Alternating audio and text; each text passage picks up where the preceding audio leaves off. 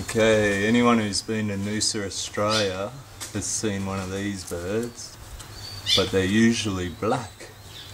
And this is a rarity, this is like an albino one, but it's not albino, it's just got no black colour.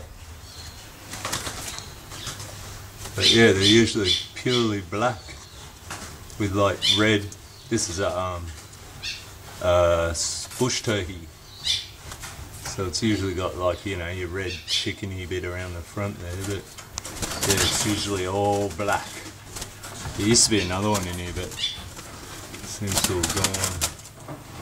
These things are independent from day one. As soon as they're out of the egg, they have no contact with their parents. Their parents build a big mound, and to defend it, they kick rocks at you. And I'm sure there's tons of video on it. Just type in Noosa bush turkey kicking rocks or something, and you'll find heaps of them. But yeah, this is a white one. This is the famous Noosa white bush bush turkey. But yeah, it's getting a bit scared. So see ya, bushy.